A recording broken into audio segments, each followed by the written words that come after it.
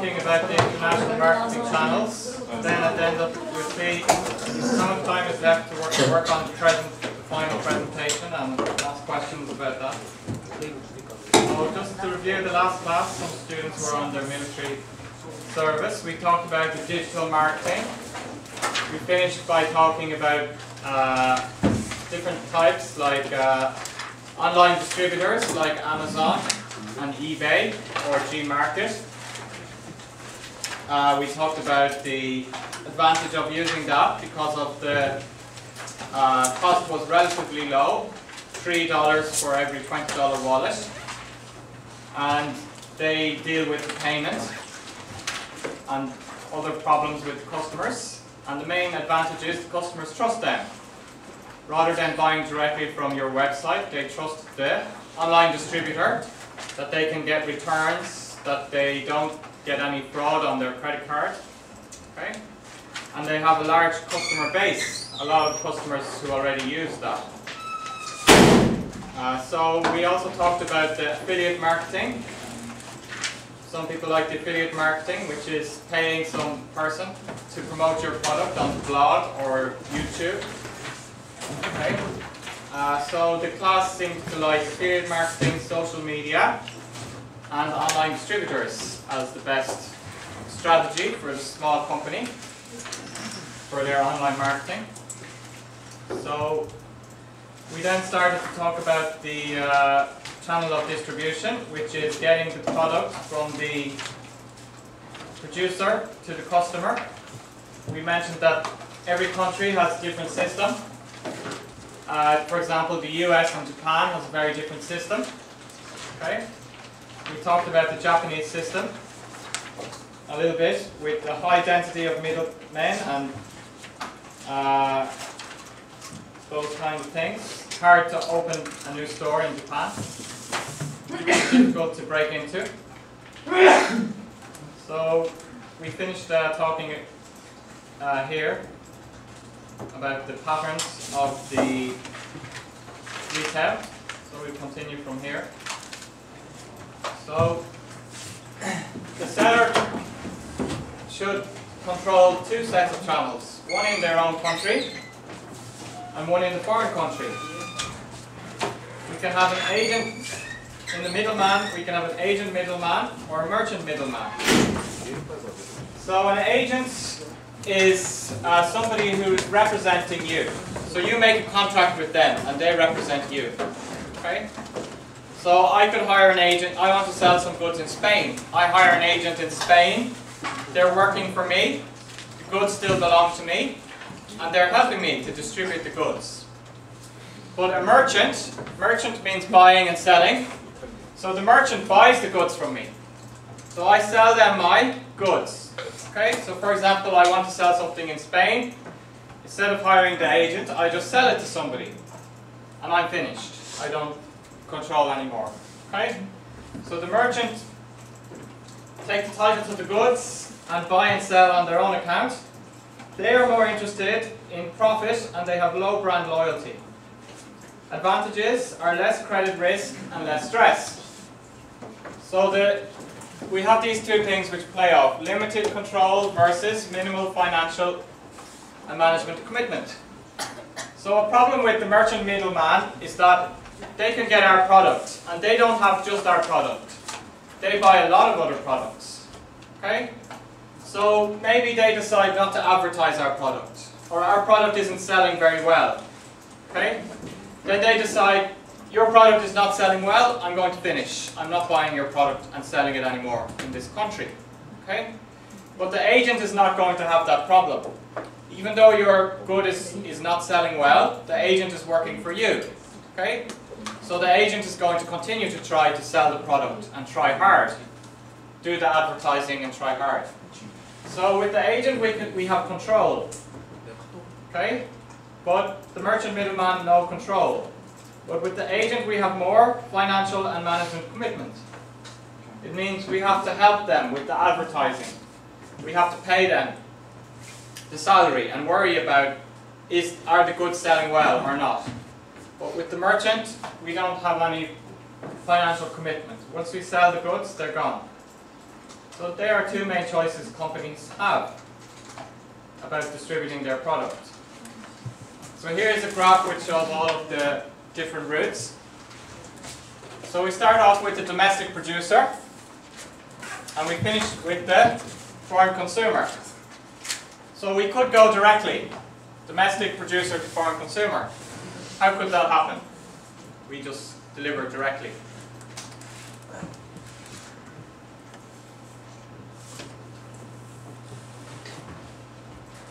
We could, we have our own website, okay? And somebody orders something from us on our website from Finland, and we post it to Finland. Okay? So we send directly to the consumer. It doesn't happen that often. Okay? Otherwise, we can use these ways. Simplest way for the company, we're going to talk about in a minute, is use the export management company. Okay? The export management company then looks after all things. we can have exporter, importer. So we sell to somebody in our country and they export. Okay? We sell to the importer in another country. This is the more traditional way to sell to the trading companies. Then we can hire the foreign agent or sell to the merchant wholesaler or we can go, they go on to sell to the foreign retailer and then the retailer can sell to the consumer, usually. So we have a lot of different ways we can distribute our product here. All of these different middlemen that we we can sell to the it could go all of these ways. We could sell to a wholesaler in our country. They could sell to the exporter. The exporter could sell to the importer. The importer could sell to the merchants. The merchant could sell to the foreign retailer and to the consumer. We could go all of those ways, or we could go directly. So we have to decide on which route do we want to go for selling our product. Okay? So you also in your project will have to decide what way do you want to use. Figure out what way do you want to use for selling your product to the foreign consumer. So different types of middlemen. We have global retailers. So we start here. We're the producer. Okay? And then we sell directly to the foreign retailer here. Okay? Uh, so we sell to Walmart. And then Walmart sells to everybody. Okay? That's pretty simple. Easy for our company. Okay? Can you think of other big global retailers apart from Walmart?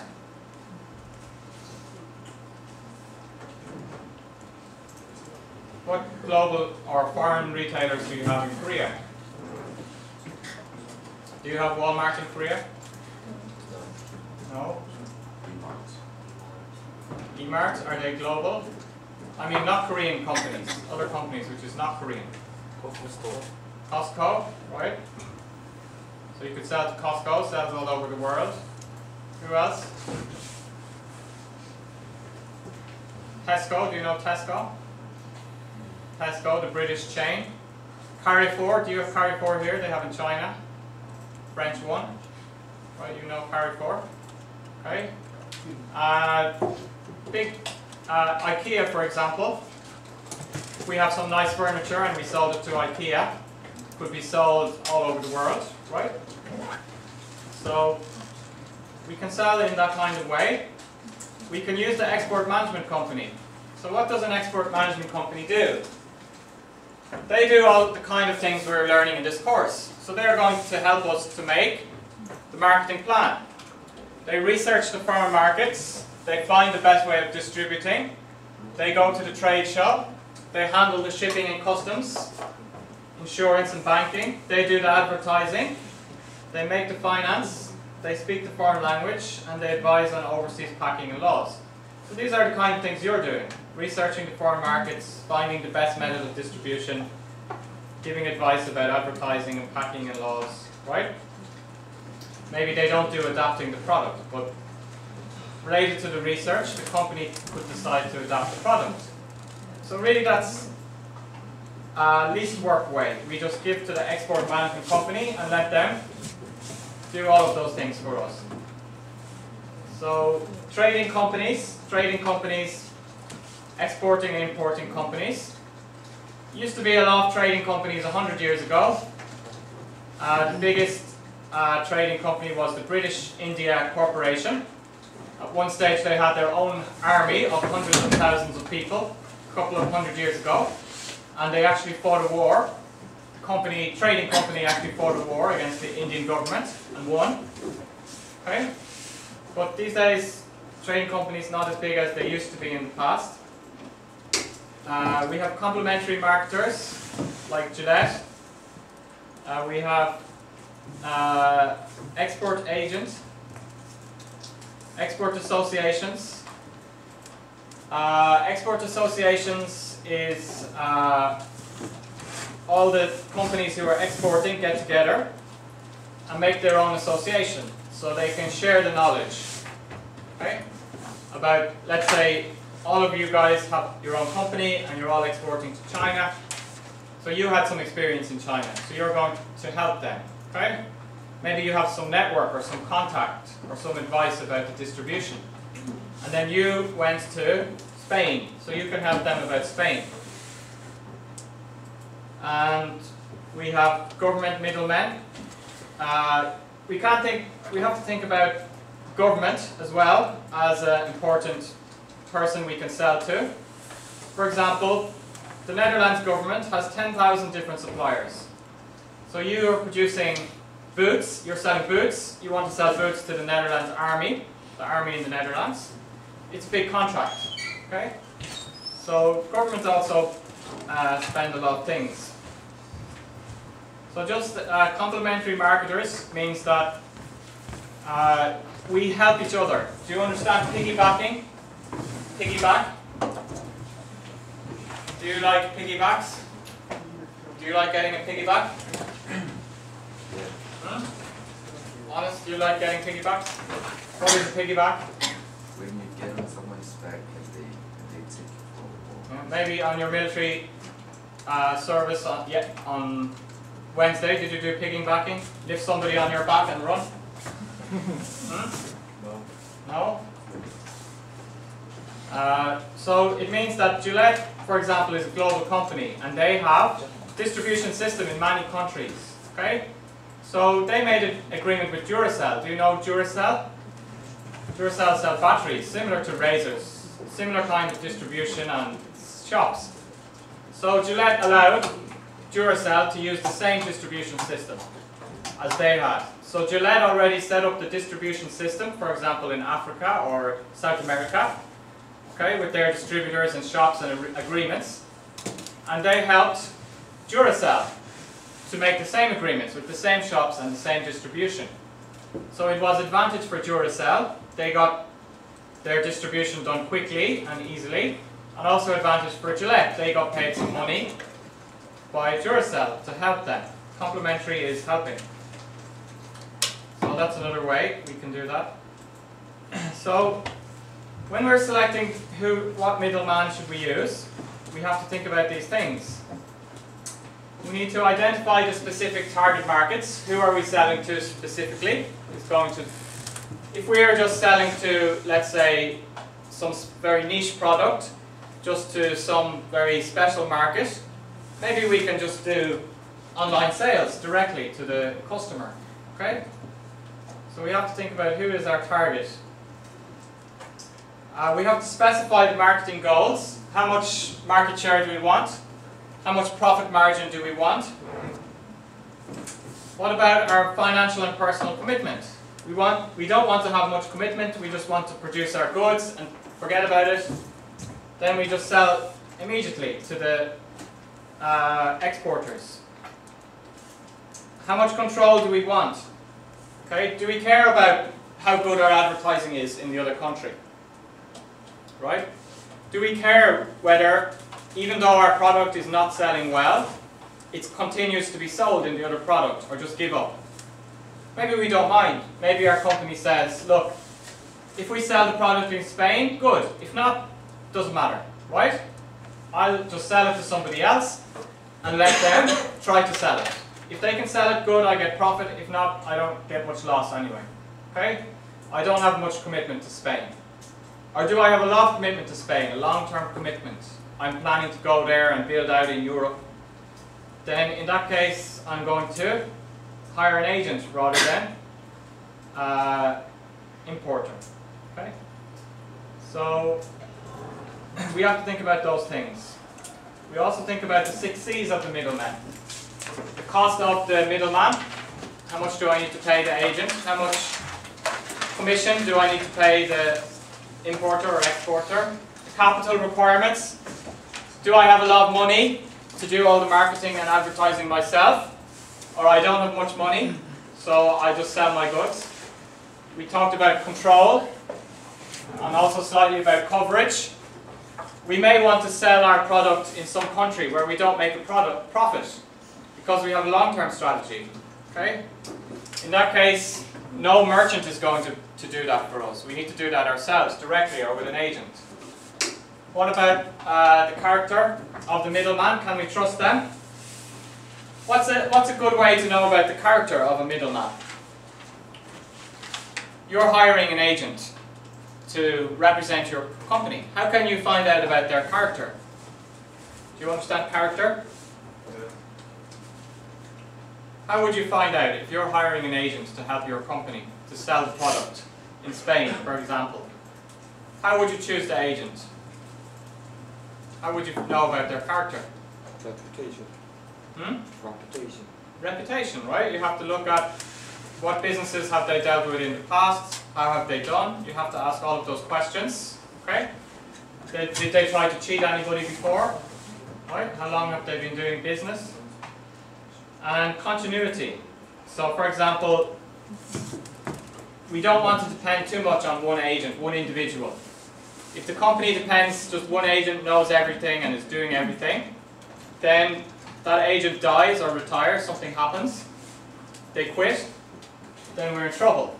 Okay? So we also have to think about don't depend too much on just one person. So when we're locating the middlemen, in the US the Department of Commerce can help. In Korea you also have the Government Export Agency. Is it KOTRA? Right? They can help you to find the middleman. They have like a list or other companies, other exporting companies already have the experience. They can advise us. So, uh, like you mentioned, we need to screen the middlemen, look at their history. We have to negotiate an agreement. Uh, we have to motivate the middlemen because they have, may have a lot of different products they're working with. So they, we want them to pay special attention and make sure to sell our product. How can we motivate the middlemen? What do you think? To work for, well for our company and sell our product. You could be dealing with any of these middlemen like Walmart or importer or an agent. How are you going to motivate Walmart, the importer or the agent to sell your product? Right? For example, in Walmart, are they going to put your product on the very top shelf at the back of the store? Nobody sees it, right? Are they going to put it in a good place? The agent, are they going to spend a lot of time on your products, advertising? So how can we motivate them? Do you have any idea? Discuss with your partner. How would you motivate the middle person to work hard to sell your product? Give some preference to your product.